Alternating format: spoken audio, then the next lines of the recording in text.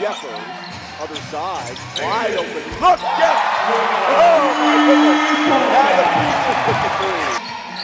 Wide open look again, this time on the the shot. Gets the ball down to Russel Low. Almost the Becis all alone down left side. And the Becis six points! How do you like that? Go. Good recovery on defense by Malaysia. Ball whipped around the horn.